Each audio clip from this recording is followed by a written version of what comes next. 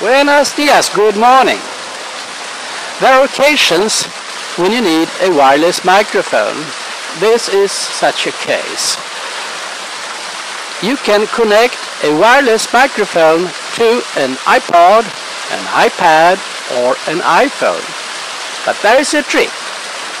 You have to activate the amplifier.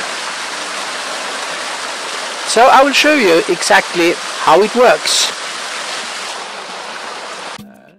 This cable has a jack with four contacts. In the other end there are three connectors, audio output left and right, and one microphone input.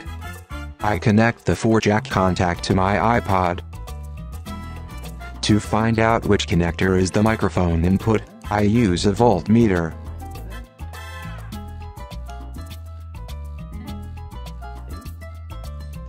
The 2.76 volt is used to power the electret microphone. When the electret microphone is connected, it activates the microphone input in my iPod Touch. Now, here is my old wireless microphone system. It has a transmitter. You can use almost any electret microphone. The transmitter and the receiver use a 9 volt battery each. So, can you just go ahead and connect the wireless microphone system to an iPod Touch? No, forget it. It will not work. I have added two components, two resistors. The 2.2 kilo ohm resistor activates the microphone input in my iPod Touch.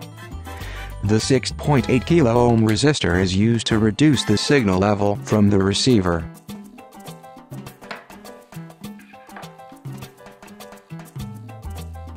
To complete the job I have to use my soldering iron. The two resistors are now built into the transmitter. As you can see, I have cut off the cable. There is no need for the left and right audio.